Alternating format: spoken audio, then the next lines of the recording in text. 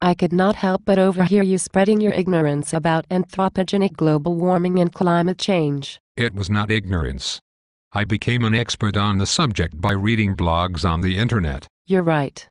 That definitely puts you on par with climate scientists who have spent years in study obtaining their degrees and longer performing research in the field.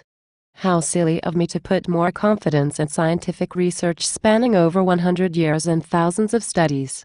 In actuality, you are animated proof that a little knowledge is a dangerous thing. If you know so much, what do you think I got wrong? You botched so many aspects of global warming theory it is hard to know where to begin. But let's start with the amount of carbon dioxide in the atmosphere and its role in the greenhouse effect. The concentration of CO2 in the atmosphere is only 365 parts per million. Wrong. CO2 levels are now at 392 parts per million and rising. The atmospheric concentration of CO2 has increased 40% in just over 100 years. CO2 levels are now higher than they have been in the last 800,000 years and likely the last several million years. That is still too small an amount to make a difference in the greenhouse effect. Besides, higher levels are good for plants since CO2 is essential to photosynthesis. It's ironic that on one hand you recognize that a small amount of CO2 is essential to all plant life, and yet claim on the other hand that it is too small an amount to impact the global greenhouse effect. In fact, carbon dioxide is the primary long-term driver of the greenhouse effect. Without carbon dioxide in the atmosphere, our planet would be a frozen ball of ice floating in space. That is not possible. Water vapor is a much stronger greenhouse gas than CO2, and it is much more prevalent in the atmosphere. That is true, but do you know how long water vapor remains in the atmosphere once it is emitted? No, I do not. Of course you don't. It's hard to believe you remember to keep breathing. Water vapor cycles through the atmosphere in only 7 to 10 days, which is why the atmospheric concentration of water vapor varies so much from place to place. This is why the Earth has jungles in some regions and deserts in others. How about CO2? Do you know how long carbon dioxide remains in the atmosphere once it is emitted? No, I do not. Again, not surprised. You probably don't believe in evolution either since your existence is an argument against it. Carbon dioxide can take hundreds or even thousands of years to cycle through the atmosphere, many thousands of times longer than water vapor.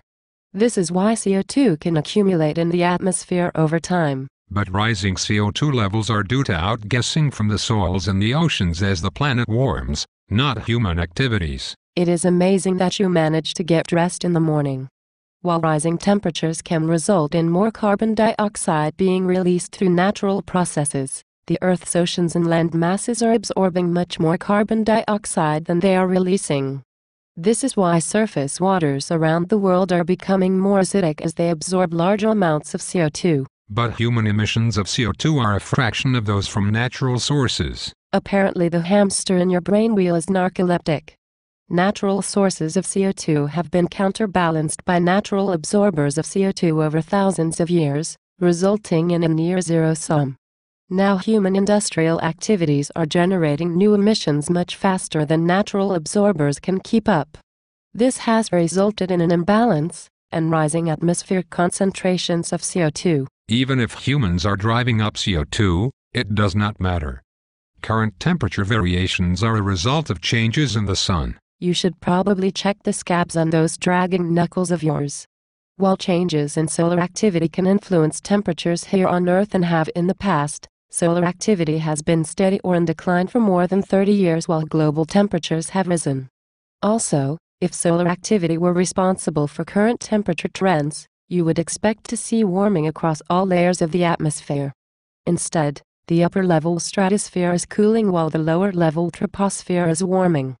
This is exactly what you would expect from temperature shifts driven by changes in the greenhouse effect. Even if solar activity has been in decline, more galactic cosmic radiation would result in more clouds and warmer temperatures. Your mouth breathing is apparently not getting enough oxygen to your brain. Cosmic ray theory is exactly the opposite of your interpretation.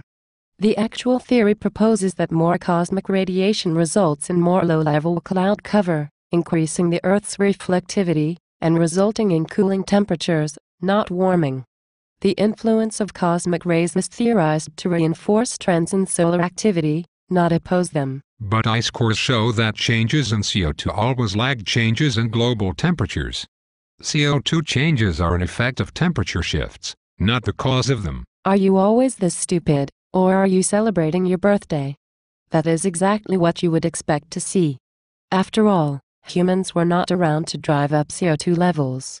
Historical climate changes like ice ages and interglacials have been initiated by fluctuations in the Earth's orbit around the Sun, changing the amount of energy received from the Sun over long periods of time. Shifting CO2 levels would then reinforce the initial temperature change resulting in additional warming or cooling. Think of dominoes. You only push the first one. The others falls a chain reaction. By the way, your shoe is untied. I'm not wearing any shoes. Your brilliance continues to amaze. This does not mean that rising greenhouse gas levels cannot initiate change. Approximately 55 million years ago, during the Paleocene-Eocene thermal maximum or PETM, a massive natural release of greenhouse gases caused global temperatures to spike by several degrees in a very short period of time geologically. Now human beings are releasing greenhouse gases at a much faster rate, which is why temperatures in the northern hemisphere are higher now than at any time in the past 1000 years. I hope you were not talking about the debunked hockey stick graph. You the type of person that gets stuck on escalators. There's not one hockey stick. There's an entire hockey team. Similar results have been obtained across multiple, independent temperature reconstructions examining multiple, diverse temperature proxies, including tree rings, boreholes, stalagmites, and glaciers. In fact, a recent study found that the current simultaneous warming of both the northern and southern hemispheres has never happened before in the last 20,000 years. I refuse to believe that what you're saying is true since it would mean that I would actually have to get off my fat ass and do something. You're right, it's much easier to turn a blind eye and dismiss the warnings of scientific research organizations around the world than it is to face the reality that your actions have consequences global temperatures have continued to rise despite multiple natural mechanisms promoting cooling or stasis in the climate system, including declining solar activity, increased galactic cosmic radiation, a cooling Pacific decadal oscillation, a steady ENSO, and shifting orbital cycles of the Earth around the Sun, all leading back to mankind's influence on the greenhouse effect. What you are saying is ridiculous. You are just making things up in order to push your political agenda. No. Ridiculous is believing in a fairy tale global conspiracy of scientists, politicians, and media bent on global domination through higher taxes and world government with clandestine meetings and secret decoder rings. You probably believe in the chupacabra as well. You have something against the chupacabra? You're a racist. Now, if you'll excuse me, I want to wrap up my jigsaw puzzle. After six months, I'm almost done, even though the box says four years.